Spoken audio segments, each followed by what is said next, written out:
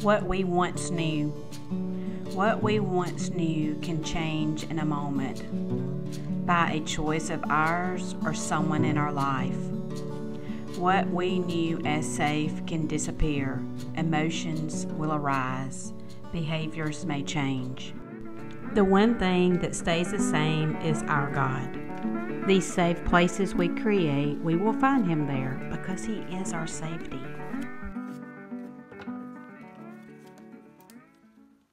My desk sits in the corner of this room, a small space, my safe place. This is a postcard that I received from a friend of mine who is a photographer. I met him several years ago in a photography group. In the group, one day he asked who would like to receive postcards from me. And I jumped on it because I love mail, always have. I love snail mail. I still have pen pals. And to get another postcard in the mail was that much more fun to me. And also, he always has really cool different stamps um, on the on the postcard. At one point, he shared with me where he gets the stamps from, but I can't remember where he said. If you're interested in receiving these postcards from him, I'm not sure if he's still taking on new people or not, but just let me know and I'll see if I can get in contact with him or you can visit his website. I knew with the piece of screen page that I wanted to do something that was able to you know, have something that was on both sides. That way it was see through. So I thought to myself, what better way than to keep his postcard in here? Although I glued this page in back when I made the journal, it is actually kind of popped loose, so I'm adding some extra Mod Podge to it to help secure it.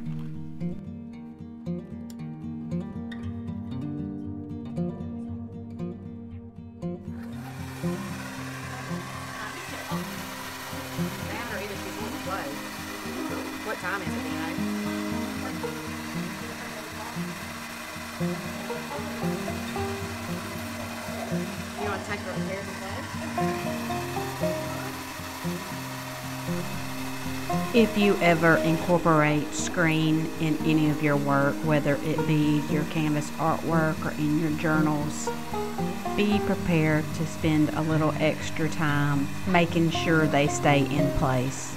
This is an actual wire piece of screen I have worked with screen before that's more like the mesh type of material, which I really do enjoy working with that too because it, it does secure a little bit better and it's a little more flexible and it doesn't poke you.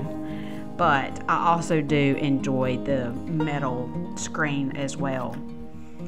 Well, what do you know? Look at there. The washi tape has made an appearance. If you've been following this series, you realize that washi tape is really not my favorite.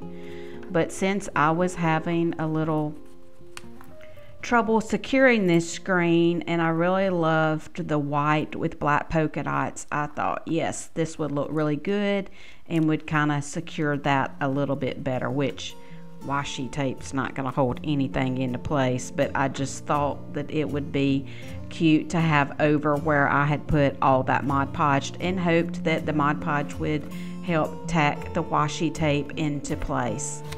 So now the fun part is going to be getting the postcard to stay on the screen itself. It's going to take a lot of Mod Podge. So I will start that process.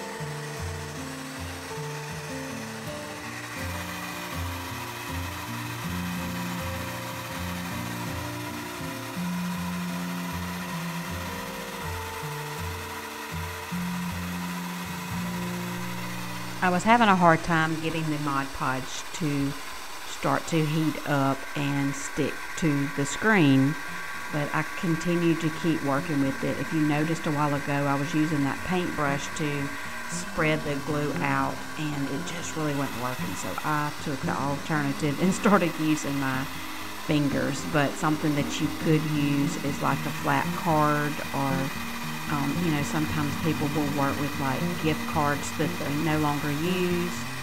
Um, and that would be great to spread that Mod Podge out like that. But I will tell you that once all of this dried and everything, I still I wasn't able to see his message and everything really well on the back like I thought I was going to be able to see through. You still can see it, but I don't know. Maybe it's my old eyes. See, I did break out a card to kind of smear some of that around.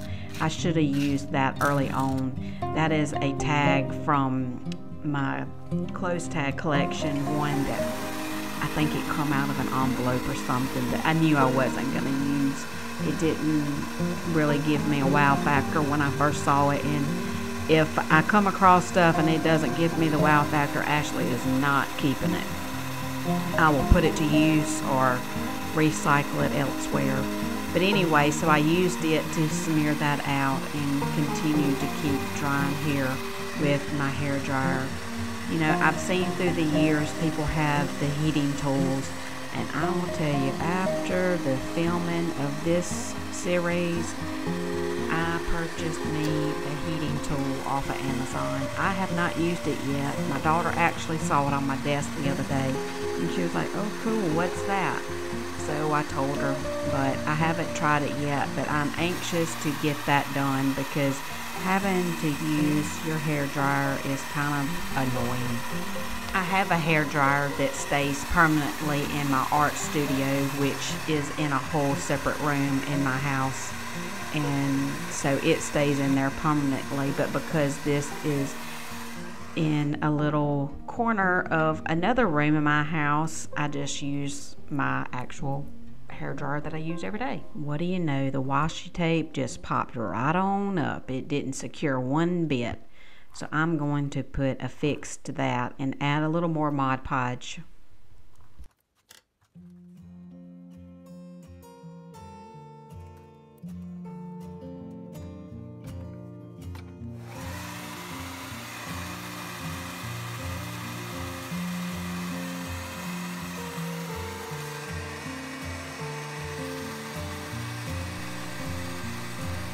May be asking yourself, well, actually, why are you working on page 11 before you work on page 10?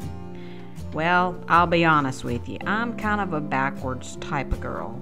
I tend to do things backwards. So when I set out to work on this spread and it have two pages side by side, and the excitement of working with the postcard and the screen, well, guess who won? The second page in the screen and the postcard. So now we're going to start working on page 10. I already had these materials laid out prior to filming and now I'm just going to get those set in place as for how I want to Mod Podge them onto the page. The screen page actually kind of was in my way. I couldn't really press it back to get it out of the way to actually do some work. I was scared to use my clamps though and clamp it down to the pages behind it because although it seemed dry, I was scared there would be some little piece of something that wasn't dry enough and it would be stuck to the next page and that would not be cool. Okay, so sorting these out. It's a clothes tag, a piece of material, and a stamp with an owl on it, and a little piece of lace material. It's kind of like a pale pink. I purchased that material when this uh, material store Hancock's was going out of business. I got like a foot of it because at the time I was doing some sewing and doing some upcycling clothes and I used that in a shirt one day but I knew that the leftover I would use in my artwork and in my art journals.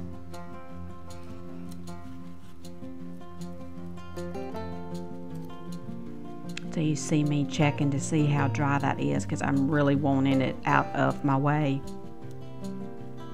So now this is a process of elimination and then you do worry about okay am I going to remember where everything is? And you get to working and then you're like okay I know I have this filmed but you can't stop and look because you're filming with the camera that it's on. So here I kind of hold these two in place so I can at least keep them and just hoping for the best to put the tag and the owl back in place. But if you choose to go this method with when working on your pages, even if they don't end up in the exact same place, you can still kind of work with and tinker and, and position the stuff, even if it's just a slight hair off just keep working with them until they look visually appeasing to your eye. You can see how I put that one down. I probably was trying to get a little extra Mod Podge on there and then peel it back up. Because like I've said in previous videos, you really want to make sure that you have that Mod Podge on there as much as possible because years to come you don't want stuff falling out. And if you're like me, you probably question yourself years to come, what are we going to do with these journals? Will they end up in the hands of someone else or what? And in my personal opinion, I hope that someone will take them one day and sit around and look through them and talk about them. And I don't want the stuff falling out on them. I really like the string on the tag. It just kind of adds a little extra character to the page. That page with the postcard on it is still driving me nuts.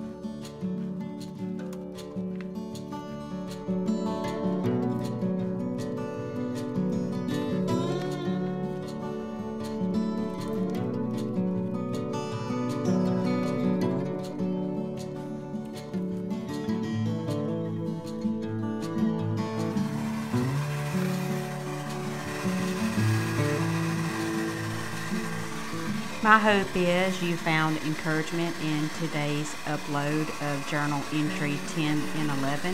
May this encouragement be if you are journaling yourself or if you are a creator working on something else. No matter what we are working on, there are opportunities to find a safe place. During our time in our safe place is us refreshing our soul so therefore we can strengthen our souls so we can shine a light of influence out into the world.